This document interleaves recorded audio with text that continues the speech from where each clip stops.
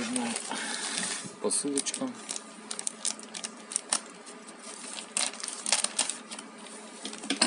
За довольно небольшие деньги.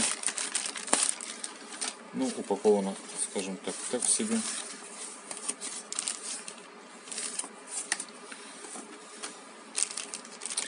И, о да, это оно выглядит подпружиненные, выглядит добротные.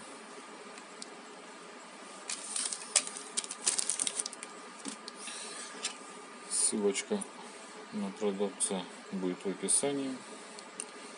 Подписываемся, заказываем унисекс. Ну, скажем так, такого плана оправа будет стоить в магазине в районе 350 и до 1000.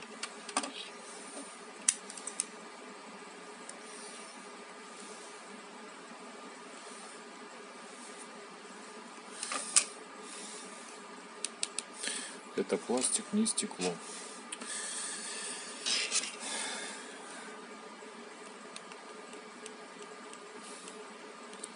Будем убирать наклеечку.